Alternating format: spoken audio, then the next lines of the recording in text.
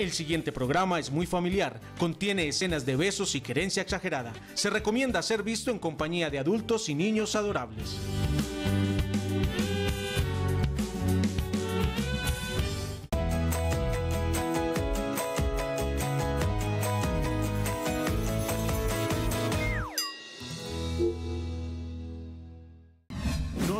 Unimos en un arrullo para abrir juntos un camino. Yo te ayudo a empezar el tuyo, tú haces más feliz el mío. Y entre dudas, llanto y caídas, entre risas, besos y abrazos, juntos nos gozamos la vida paso a paso, construyendo desde el amor, paso a paso, para hacernos la vida mejor. Bienvenidos a Paso a Paso. Activen sus neuronas, despierten el cerebro porque hoy iniciamos otro capítulo más, otro traque, otro paso, otro trayecto por este camino por la paternidad, la crianza, la maternidad, construyendo hogares con la compañía de todos ustedes y tratando de resolver tantas inquietudes que nos hacemos todos los días como padres. Cuando la actividad electrodérmica, según la estrategia presocrática clásica, altera la sensibilidad cognitiva. Nos preguntamos si la neuroplasticidad puede responder a esa pregunta que nos hacemos todos los padres diariamente. ¿Cuál de los hemisferios cerebrales de nuestros hijos es el más bonito?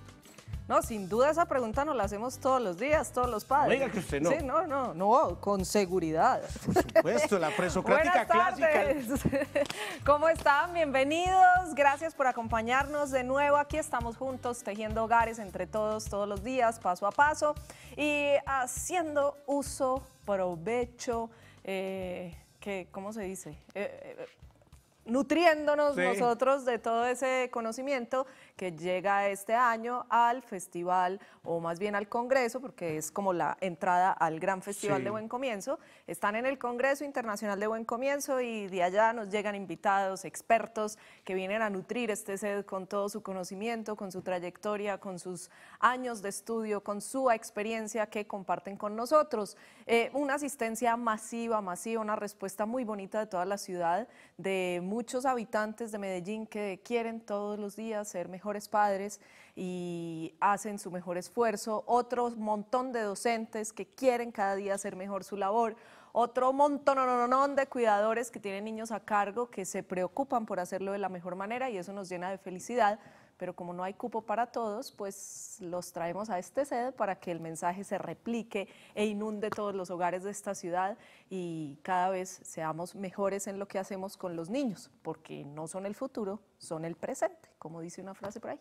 Así es, Moni. Y afortunados nosotros, ustedes que están frente a las pantallas, de tener hoy la oportunidad de comunicarse con uno de estos expertos, un verdadero cerebro del tema que vamos a tener hoy en Paso a Paso.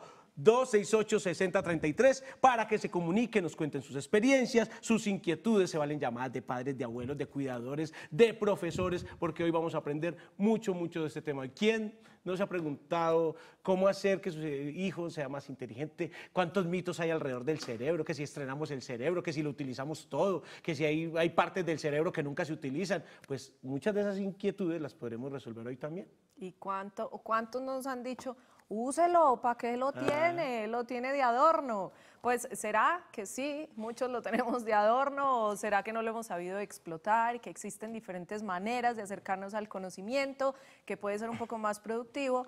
Ya, digamos, hicimos un programa anterior y no llegamos crudos a este tema de la neurociencia, que todo tiene que ver con el desarrollo del cerebro de los niños, otro de nuestros programas. Hoy, digamos que trataremos de integrar todo esto porque, como Leo decía, tenemos al cerebro del tema que estará con nosotros en minutos. Antes, vamos a ver este video para quienes no lo han visto, pues es como la máxima expresión en donde se conjugan neurociencia, eh, neuroeducación, mm, e inteligencia emocional, inteligencias múltiples y todo lo demás. ¿Conociste el hijo de Nancy? Sí, claro. ¿Sabes quién es el hijo de Ah, Nancy? pero por supuesto. Ustedes lo conocen, el hijo de Nancy. El hijo de Nancy, véalo. Soy el resultado de lo que una gran mujer quiso hacer de mí. ¿Quién tuvo el mejor cerebro ahí? ¿Tomás Albaez o no la mamá? Eh, no, pues ella tenía un PhD en neuroeducación, eso sí, sin duda, y a mí se me erizan los pelos de solo conocer esa historia Qué de, esta, bonito, ¿no? de esta bonita manera como lo cuentan así en este video. Y pues creo que tiene todo que ver con nuestro tema de hoy. Sin más preámbulos, para sacarle la leche hoy al experto, aquí está, el experto.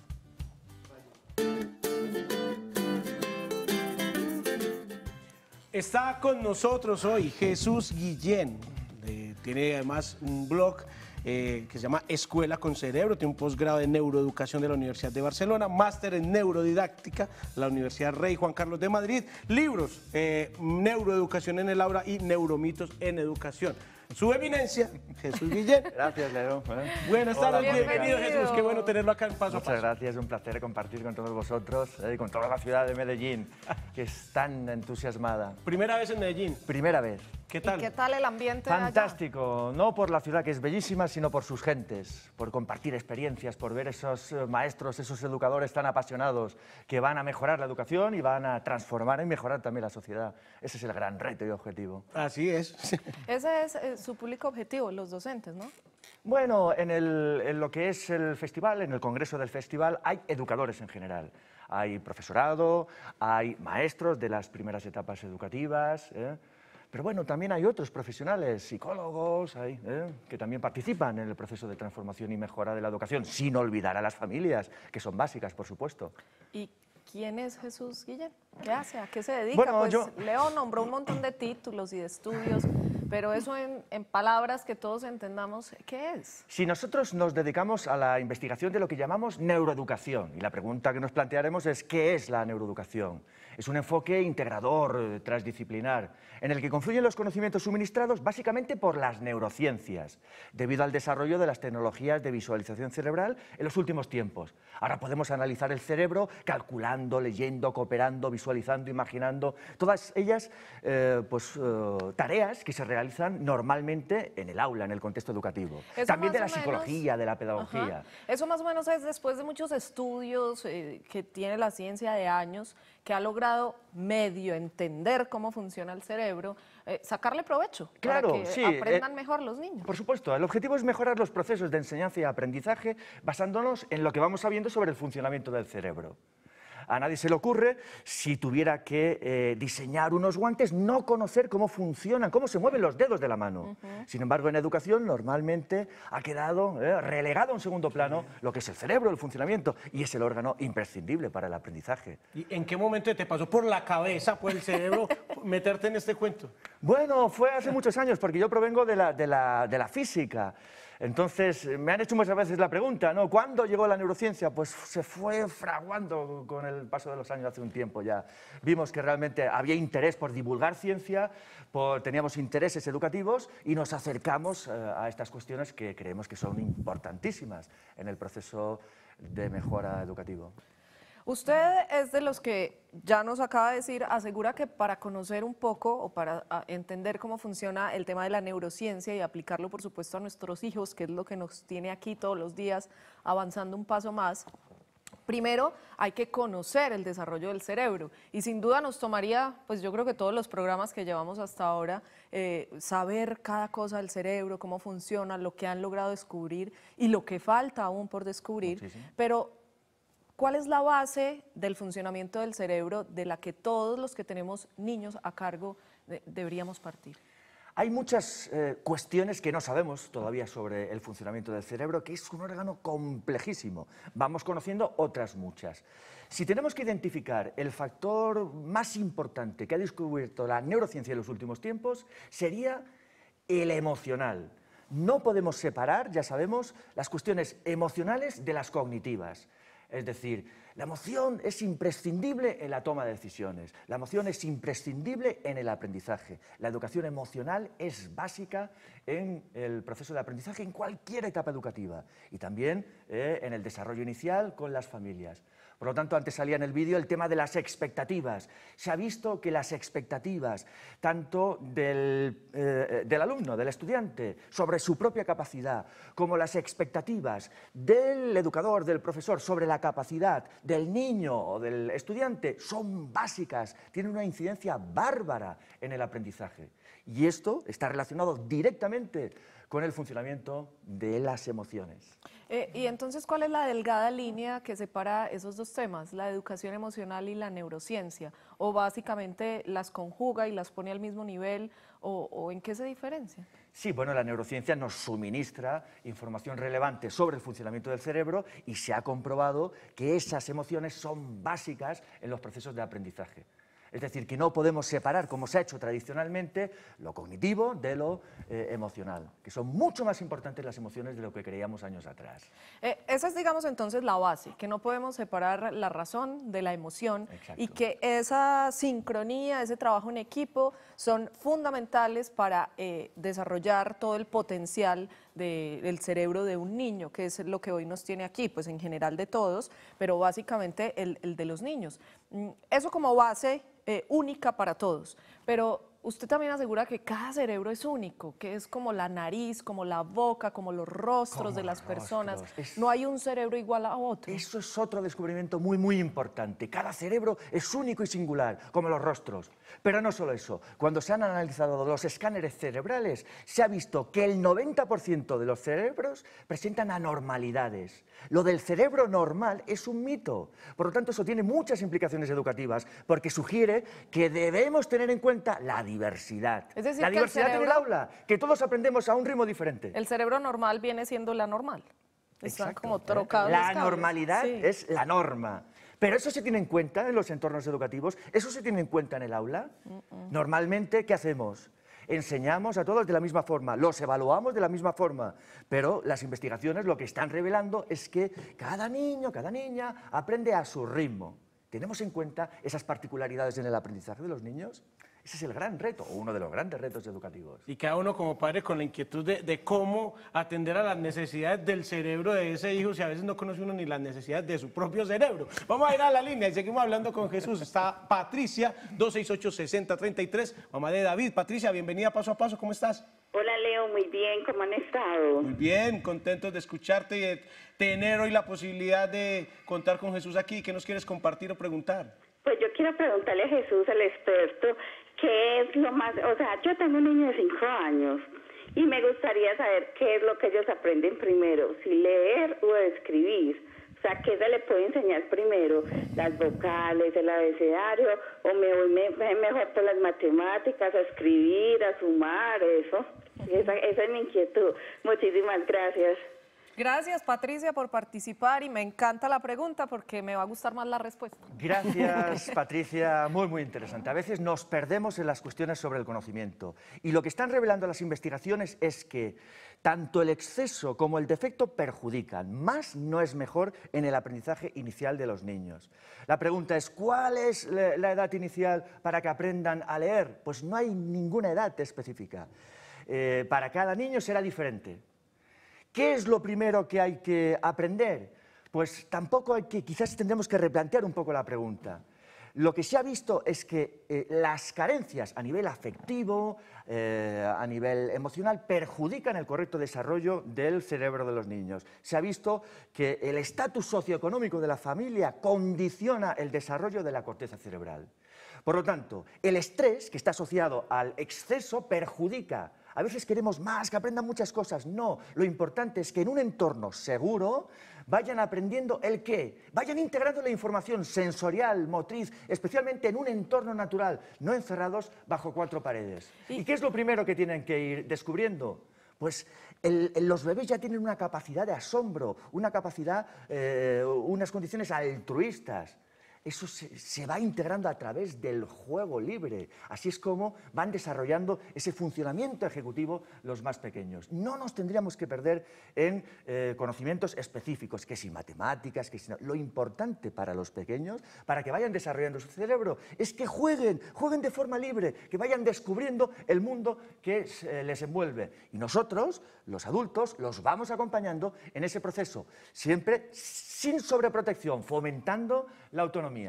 Tema del que hablamos ayer, ¿no? Con Diana Leiva, con el, el rol de la familia en el desarrollo de los niños, Eh, el de acompañar, el de guiar, el de supervisar un poco los procesos, más que estar imponiendo reglas y parámetros. Ellos van a su ritmo, eso está clarísimo. Y frente a la respuesta de él aprenderá a leer y a escribir cuando esté listo para saber leer y escribir.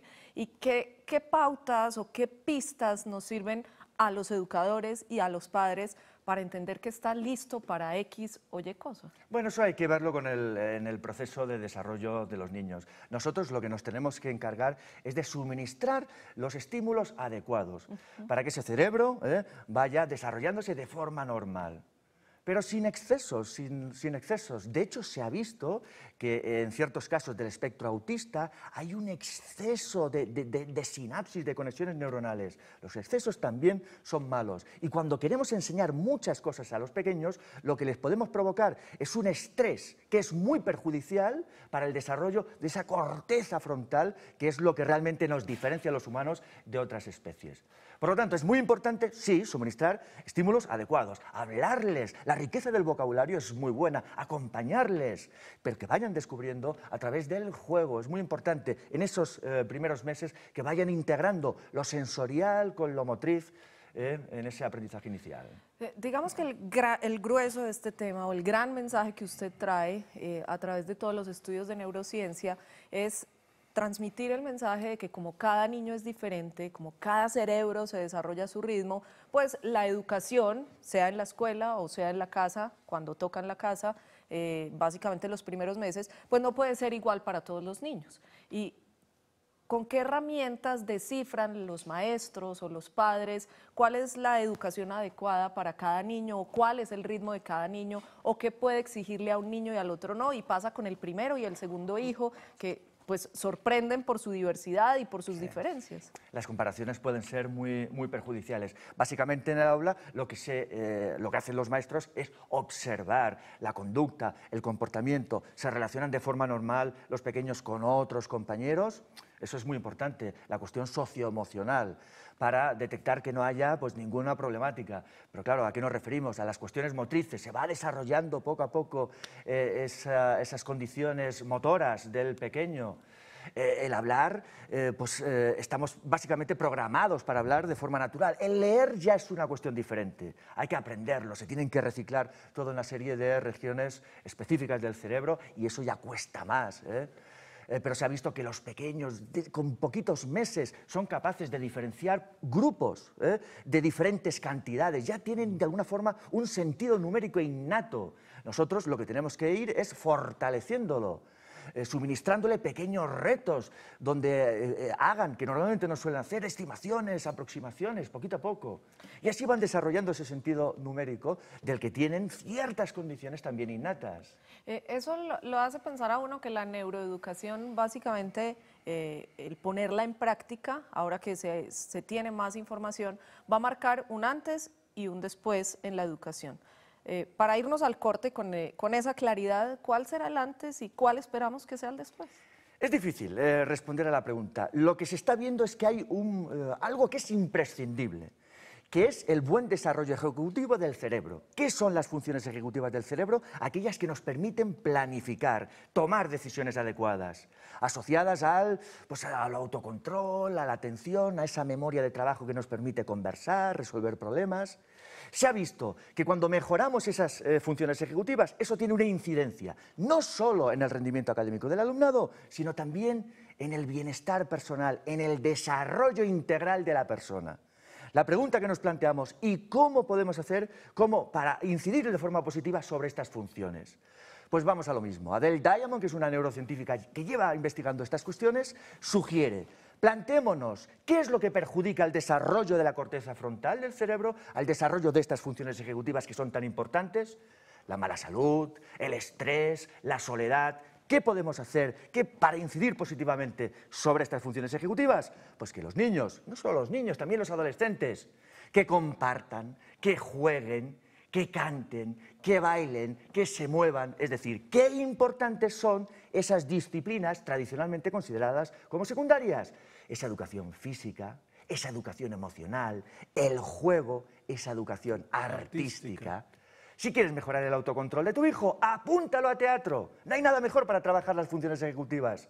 Tienen que esperar su turno, control inhibitorio. Tienen que recordar el papel, memoria de trabajo. Si el compañero se equivoca, se tienen que adaptar a la nueva situación, flexibilidad cognitiva. Y todo además en un contexto social. Nuestro cerebro, aparte de ser muy plástico, es social.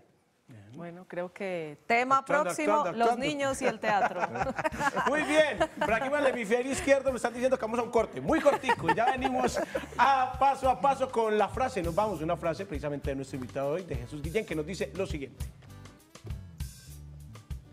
La neuroeducación constituye una nueva mirada flexible, positiva, optimista, porque está en consonancia con diversas metodologías de aprendizaje activo y porque fomenta el desarrollo de competencias para la vida. O mejor dicho, es la propia vida. Ya regresamos a paso a paso.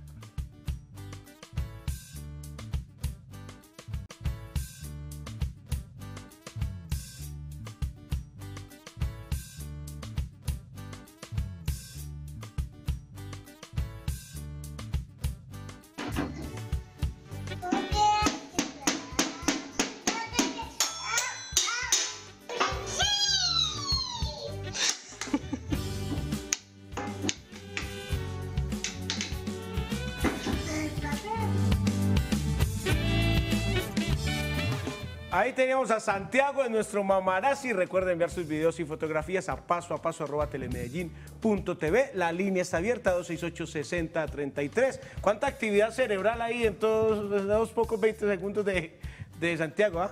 Con la música y la baqueta. A, a pesar de todo lo que Jesús hoy sabe, ya nos ha demostrado que aquí sabe, él muy humildemente habla de solo tres cosas que ha aprendido. que ya hemos hablado aquí, digamos, ampliamente de una de ellas, que es sin emoción no hay razón. Eh, otra de ellas es el futuro pasa por la neuroeducación, dice usted. Y la tercera es los tiempos cambian. ¿Qué, qué significan básicamente esos tres aprendizajes? La educación emocional es imprescindible eh, para el aprendizaje. Cuando se analiza el cerebro de, de personas ante contextos emocionales positivos y negativos, se comprueba que ante contextos emocionales negativos se activa la amígdala, una región que interviene ante miedos, temores, pero ante contextos emocionales positivos se activa el hipocampo, una región del cerebro que interviene en los procesos de memoria y aprendizaje y permite a los participantes de los experimentos recordar mejor la información. Es básico generar climas emocionales positivos en el aula o en cualquier contexto educativo. Pero claro, la educación emocional, cuando eh, se han analizado los programas eh, escolares que implementan eh, eh, estas competencias y las van trabajando de forma continuada, se ha observado que hay una mejora de estas competencias, mejora de autorregulación, autoconciencia, empatía, asertividad, pero que también tienen una incidencia en el rendimiento académico del alumnado. Si el estudiante sabe controlarse, eso tendrá un beneficio a todos los niveles, académico, personal. Eso es muy importante. Por lo tanto, la educación emocional es básica, pero en el aula siempre parte de la formación del profesorado y hay que hacer participar también a las familias en el proceso. Qué importante lo que hablábamos antes de las expectativas. Cuando eh, etiquetamos a los pequeños, les decimos, lo has hecho muy bien porque eres muy listo, les estamos perjudicando. Lo has hecho muy bien porque has trabajado bien. Es importante elogiarles por el esfuerzo, no por la capacidad. Elogiar el proceso. Claro. Y eso está relacionado con cuestiones emocionales, el poder de las expectativas positivas. Eso es muy importante. Las emociones son básicas. Por otra parte, respecto a la neuroeducación, pues es imprescindible conocer estos procesos del funcionamiento del cerebro que tienen una incidencia directa sobre el aprendizaje. Todas estas investigaciones y las aplicaciones prácticas en el aula que estamos identificando, hay que comunicarlas. Hay que comunicarlas a todos los educadores, a los maestros, pero también a las familias. Tienen que conocer esta información para así nos podamos alejar de esos neuromitos que están tan arraigados en entornos educativos. ¿Cuáles son los Y- neuromitos? Sí, ahora comentamos, si quieres comentamos la tercera. ¿eh? Sí, claro. Que era, los tiempos cambian, naturalmente, los tiempos cambian y hemos adaptado la educación a las nuevas necesidades. Yo hace poco entré en una clase de pequeñitos, de tres años, y había una distribución de las mesitas y de las sillas en filas y columnas, como hacemos con los adolescentes. Ha cambiado la estructura de la clase. Hace poco entré en una universidad que me invitaron y era la misma distribución, el profesor explicaba de la misma forma que me explicaron a mí. No ha evolucionado en muchos aspectos la educación. Sí que hay muchas cosas buenas que se están haciendo y que hay que amplificarlas, que hay que compartirlas. Hay muy buenos profesores que están innovando mucho y hay que conocerlos. Y esos son los que tienen que ser los impulsores del proceso de transformación y mejora educativa. Y en cuanto a los neuromitos, pues hay muchos. Creemos que solo trabaja, por ejemplo, el 10% del cerebro. Ah, sí, sí. Cuando claramente, cuando se analiza el cerebro, trabaja el 100% de forma integrada, de forma holística, a pesar de que existan regiones específicas que intervienen en funciones concretas. Pero las funciones cognitivas que intervienen en la, en la educación requieren eh, una asociación de diferentes redes, circuitos cerebrales. Todo el tiempo estamos utilizando todo el cerebro. Durmiendo también, incluso durmiendo, y esto lo tienen que saber las familias, el sueño es un proceso imprescindible. Hay una actividad enorme a nivel cerebral durante el sueño. Y se ha visto, se ha comprobado, que existe una especie de regeneración neuronal que nos permite ir consolidando lo que hemos pues, aprendido durante la vigilia. Es más importante de lo que creíamos el sueño. Y muchas veces hemos identificado que tanto los pequeñitos, los niños, como los adolescentes no duermen las horas adecuadas.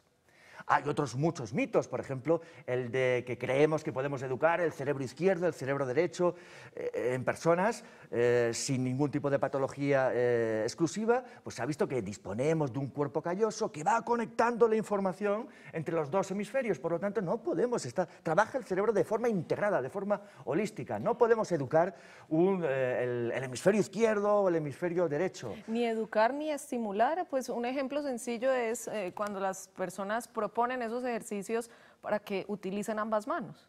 ¿No, no bueno, a ver, el- cuando procesos? pongo un ejemplo muy claro, que normalmente se dice que el lenguaje está lateralizado hacia la izquierda. Sí, hay regiones concretas del hemisferio izquierdo que son eh, especialmente importantes, pero en determinados casos, cuando imaginamos, cuando escuchamos una metáfora, pues también intervienen regiones del cerebro eh, correspondientes al hemisferio derecho. O se cree que la creatividad depende solo del hemisferio derecho, pero el proceso creativo, que es un proceso cognitivo complejo, requiere la participación de circuitos, de redes neurales de los dos hemisferios. Por lo tanto, tendríamos que erradicar esa idea de que tenemos dos hemisferios totalmente independientes. Eh, en la gran mayoría de las personas hay un trabajo conjunto y eso es lo importante. El cerebro es multisensorial y lo que tendríamos que hacer es ir integrando de forma natural en cualquier tarea todos los sentidos. Lo visual, lo auditivo, lo táctil, todo a la vez. Es- esa será la mejor forma de Maravilloso, aprender. apasionante tema. Lo importante es que se conecte a otro cerebro, a nosotros, a este programa. Ya mismo, Paola está ahí, mamá de María Clara. Paola, bienvenida paso a paso, ¿cómo estás? Bien, muchas gracias a ustedes. Muy bien, contentos de escucharte. Adelante, te escuchamos. Mm, Quisiera hacer una pregunta. Em, yo tengo una niña de 5 años con síndrome de Down. ¿Cómo se desarrolla el cerebro de un niño con síndrome de Down? ¿Y cuáles pueden ser, por ejemplo, las consecuencias de una sobreestimulación? ¿Cuándo saber qué cantidad de estimulación es buena o mala? Es como más o menos la inquietud ahorita escuchando lo que hablaba de los niños eh, con autismo. Entonces, ¿cómo eh, podría yo conocer un poquito más del cerebro de mi hija? Paola, muchas gracias. Bueno, es, es difícil, pero lo que está claro es que desde la perspectiva neuroeducativa, la escuela tiene que ser inclusiva. Tienen que aprender niños o estudiantes juntos siendo totalmente diferentes. Ese es un gran reto educativo. Entonces, dentro del aula tienen que compartir cerebros diferentes. Todos, todos tienen que estar ahí. Así es como funciona la sociedad. Y si queremos mejorar la sociedad, tenemos que empezar integrando estas cuestiones en los entornos educativos. Esto es básico e imprescindible. O y esto es beneficioso para todos los niños, para todos los adolescentes, no solo para unos pocos. Que esa Porque es como la primera gran pelea entonces que tiene que dar eh, ella en, en cuanto a su preocupación con el desarrollo de su hija, ¿no? Que la incluyan. Claro, es que tenemos eh, varios problemas. No eh, eh, hacemos el intento por atender la diversidad en el aula. Estamos hablando de que cada cerebro es único y singular. Sin embargo, mm, conviven de forma normal estudiantes diferentes. Normalmente lo que hacemos es, muchas veces, y eso es muy dañino, los separamos. Eso es muy malo. Esto es, eh, queda uno pensando eh, en, en la pregunta, sobre todo que hace la televidente, y es, ¿cómo evaluar que lo estamos haciendo bien? Es complicado también ¿eh? evaluar la incidencia sobre el aprendizaje, pero la pregunta que nos tendríamos que plantear es ¿para qué educamos? Desde la perspectiva de la neuroeducación, asumimos un aprendizaje más allá de lo académico, un aprendizaje desde y en para la vida. Eso tendría que ser lo básico. Pero muchas veces los contenidos curriculares están totalmente descontextualizados. Qué importante es trabajar estas competencias socioemocionales y no hay nada mejor que hacerlo con niños totalmente diferentes. No hay nada más enriquecedor. Y hay escuelas innovadoras que están haciendo este intento y realmente están obteniendo resultados pues, importantes. Más allá de los resultados académicos, que yo creo que eh, tenemos claro que no son palabras sinónimas. Resultado académico no siempre conlleva aprendizaje. Y ha habido varias investigaciones al respecto. Jesús, pero bueno, uno como padre, yo te, escucho hablar y uno dice, bueno, voy a sacar a los hijos míos de tanto curso, te voy a de arte, una los voy a acompañar más, voy a buscar un entorno más. Pero todo papá nos hacemos una pregunta en cualquier parte del mundo. ¿Yo puedo lograr que mi hijo se concentre más, que ponga más atención, que sea más atento? Sí, a veces queremos... Es complicada la labor educativa para todos y no hay soluciones únicas, eso está claro. Muchas veces lo que tenemos que hacer es echar mano del sentido común. No nos compliquemos.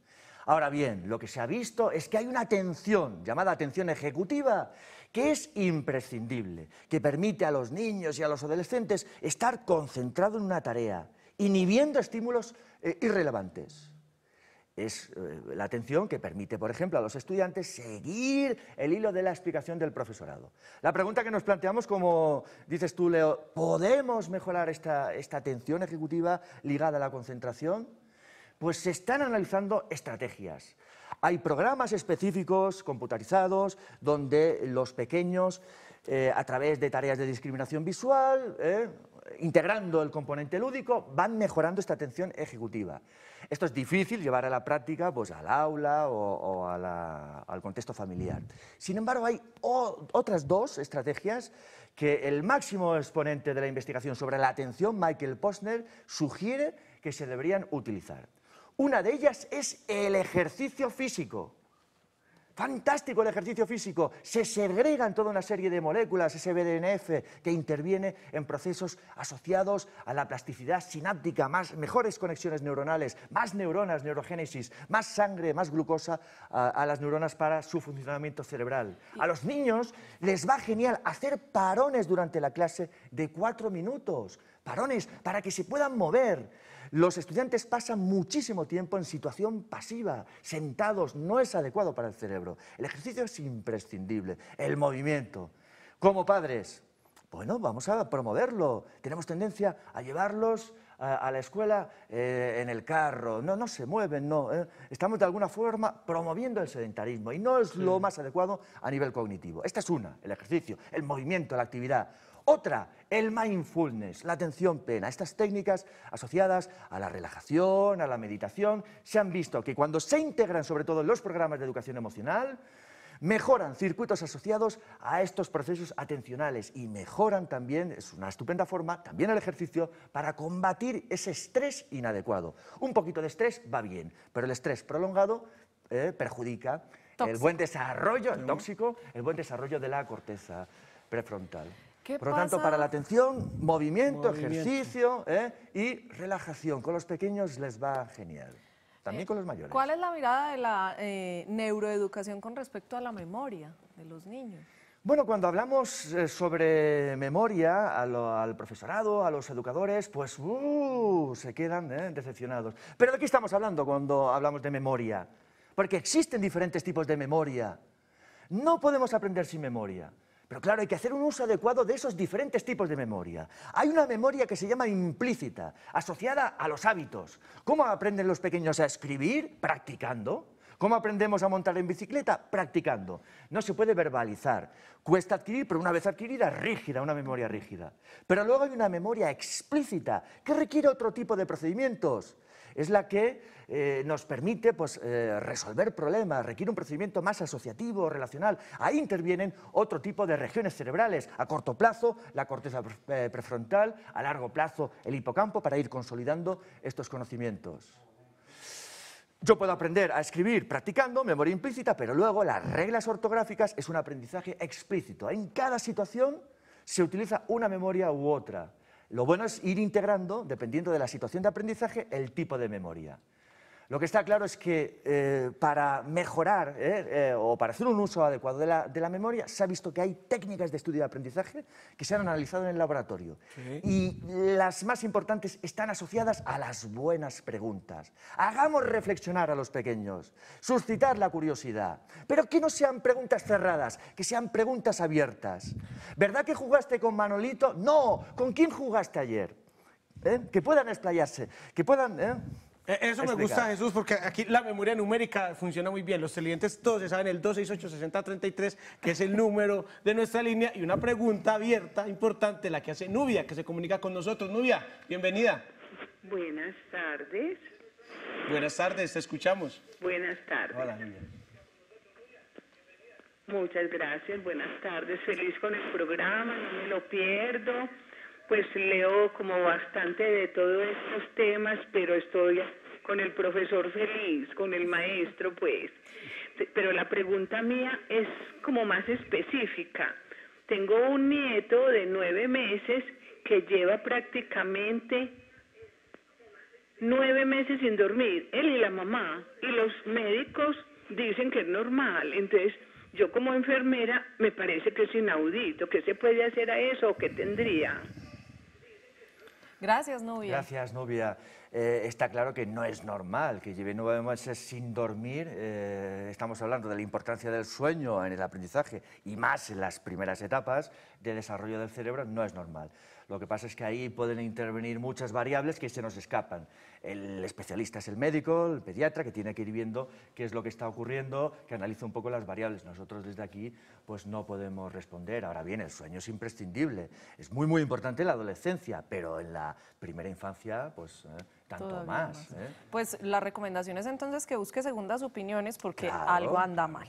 Muchísimas gracias por participar. Es momento de hacer un corte al que nos vamos con nuestras grandes citas pequeñitas y ya regresamos para terminar de aprovechar este súper experto que hoy nos deleita con su conocimiento aquí en Paso a Paso. Grandes citas pequeñitas. Estaban jugando fútbol en el parque y otro más. ¡Ay, papá! Está muy oscuro. Claro, hijo, es que está de noche. Amén. Se queda pensando un rato y luego dice, Ah, papá, prende el sol. divino. Y solucionamos esto. prende el sol y seguimos jugando. Tomás de tres años nos comparte esta grande cita pequeñita. Muchas gracias, ya volvemos.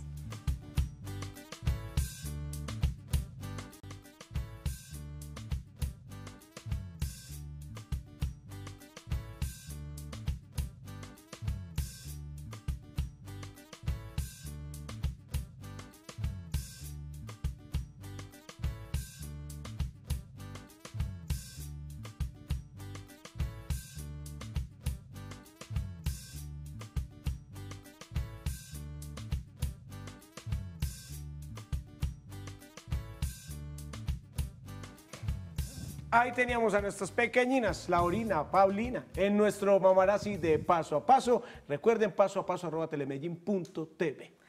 Es que eh, hace poco me encontré esto en redes sociales, que pues de hecho lo compartí, dice una grande cita de un grande, este sí es de un Sí. grande, dice, yo a mi nieto le dije que estudie arte.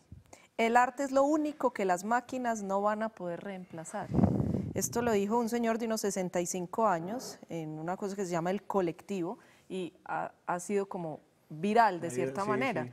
que tienen que ver las artes con la neuroeducación y con el actual sistema educativo que les da como tan poca importancia, que es una materia como de relleno, como diríamos acá. Sin embargo, hemos comentado antes, eh, Mónica, de que para un buen entrenamiento ejecutivo, para un buen desarrollo de la corteza eh, frontal, es imprescindible el arte. El arte es una necesidad para el cerebro, porque abre el pensamiento, genera creatividad, la optimiza. Normalmente en la escuela, en el aula, predominan las soluciones únicas.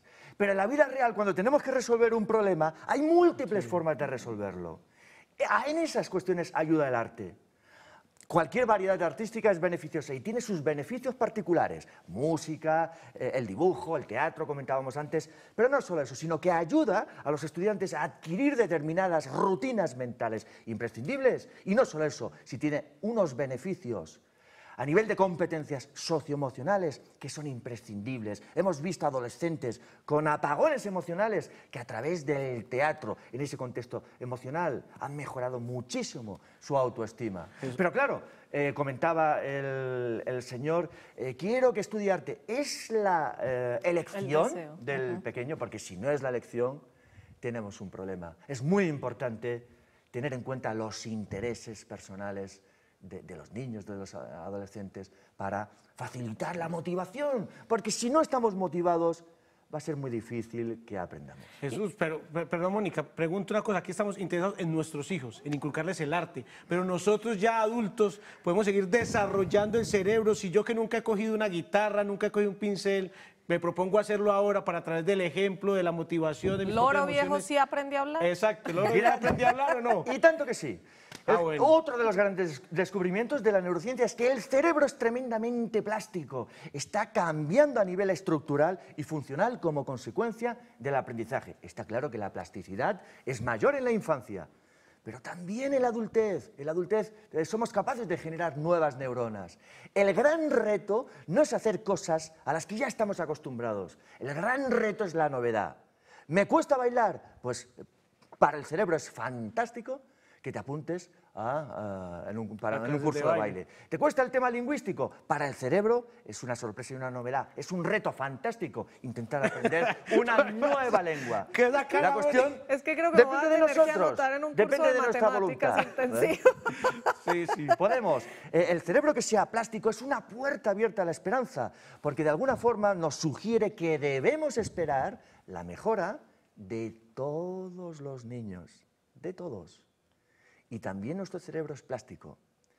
El aprendizaje por imitación es imprescindible. A los pocos minutos de nacer, el bebé ya es capaz de imitar determinados gestos de los padres. Nosotros somos referentes, tanto los padres como los, eh, los maestros, las maestras.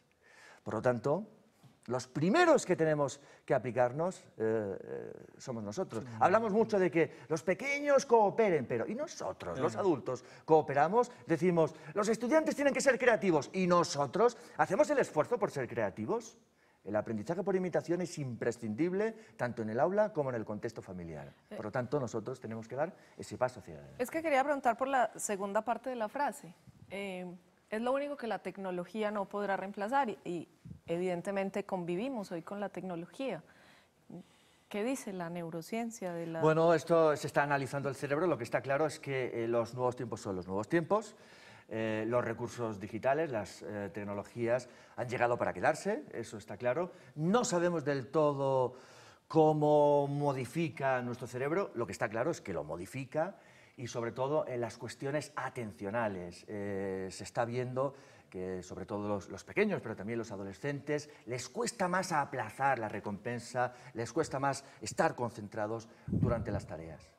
Por lo tanto, también ¿eh? en determinadas situaciones pueden ser útiles estos recursos digitales. En el caso de los más pequeños no hay ninguna necesidad de utilizarlos. Los más pequeños, como comentábamos antes, qué bueno que puedan jugar juego libre en un entorno especialmente natural. Jesús, uno va cumpliendo años y uno dice que uno es joven por dentro. El cerebro envejece como envejece en otras partes del cuerpo.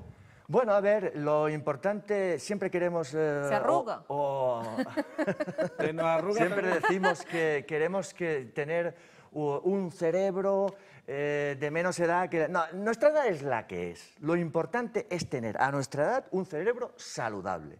Y para que eso ocurra es imprescindible suministrarle retos, suministrarle pues, ejercicio, suministrarle una buena nutrición, sueño, esos factores que también hay que tenerlos en cuenta en los eh, entornos educativos tanto en, en- en las escuelas como eh, en los entornos familiares, por supuesto. O sea que tecnología en edades tempranas, cero. No que hace es la gran duda de, No hace de falta, los aunque tampoco padres. tenemos que ser eh, muy extremistas en este sentido. No es cuestión de tecnología sí, tecnología no. Hay que ser flexibles en todo. Pero para los más, los más pequeños no necesitan para nada la tablet. Bueno, eh, hay preguntas en redes. Eh, no las he leído, a- acaban de llegar, pero hablábamos en el corte justo de eso. Vengo, dice esta, se llama Melissa Roble- Robledo, vengo haciendo ah, desde los programas sobre Glendoman, aquí tuvimos eh, esos programas, el método que estoy estudiando para implementar con mis dos hijos de 3 y 22 meses.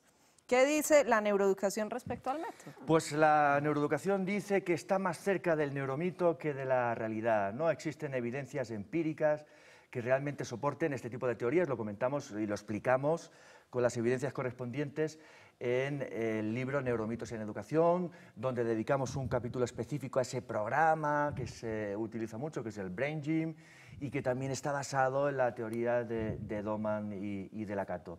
La pregunta que muchas veces nos planteamos es, ¿pero puede un programa que no tenga el respaldo empírico de las investigaciones científicas funcionar? Pues puede ser que sí, puede ser que sí, pero muchas veces no por las razones que promueve ese programa, que es lo que se analiza en las investigaciones científicas.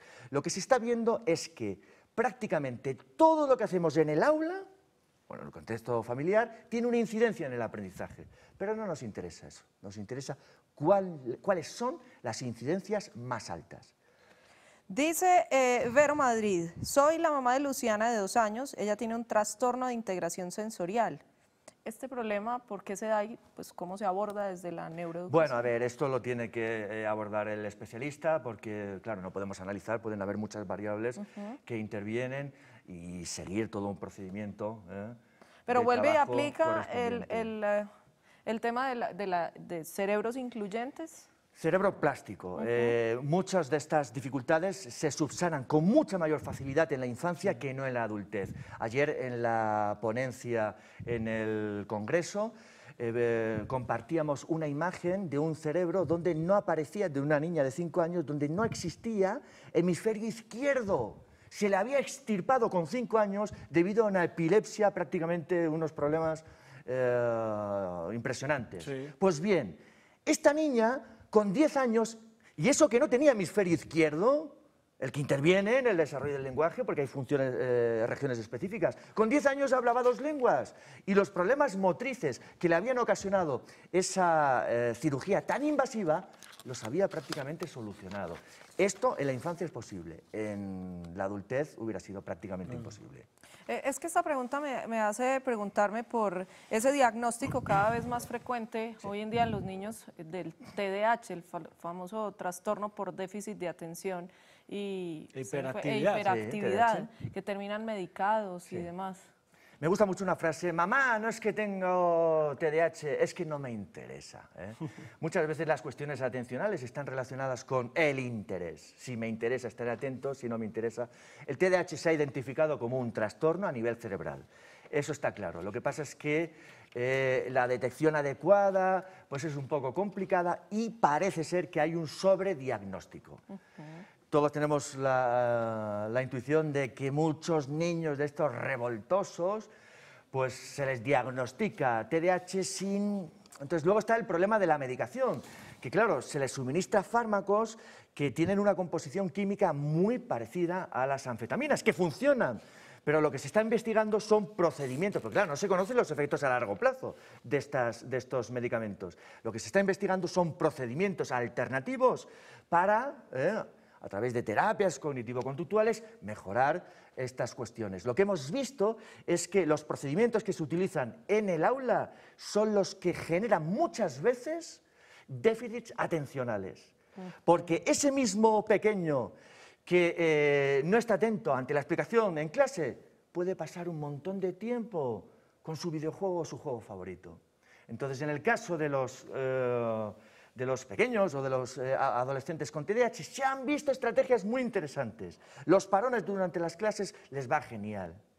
El deporte les va genial. Y en el caso específico del TDAH, el taekwondo, por ejemplo, las artes marciales, donde confluyen los beneficios del ejercicio físico para el cerebro, especialmente aeróbico, con la necesidad de estar concentrado ante movimientos concretos, se ha visto que producen beneficios sobre la autorregulación de estos eh, niños y adolescentes, que es el gran problema del TDAH.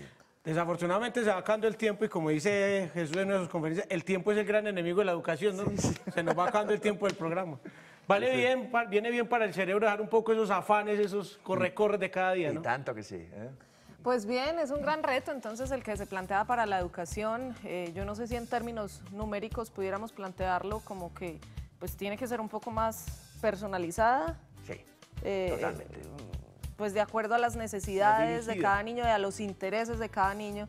Y tal cual yo veo el modelo hoy, es una profesora casi que por un montón de muchachitos y se complica la cosa. Qué bueno que puedan cooperar, que les permitamos cooperar a diferentes maestras o maestros dentro del aula. Eso lo están haciendo escuelas innovadoras.